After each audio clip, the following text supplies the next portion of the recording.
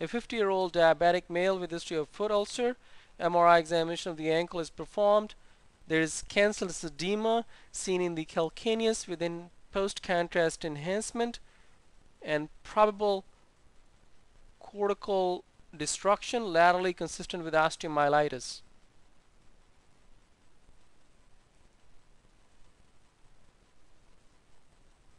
There is absence of cuboid which may be due to debridement or osseous destruction. A soft tissue ulcer is seen along the plantar aspect of the midfoot extending into the expected location of the cuboid.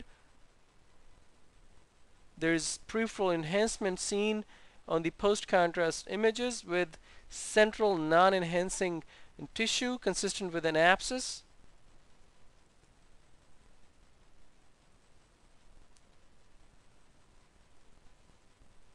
There is disorganization, osseous debris, and dislocation seen in the midfoot consistent with advanced neuropathic arthropathy.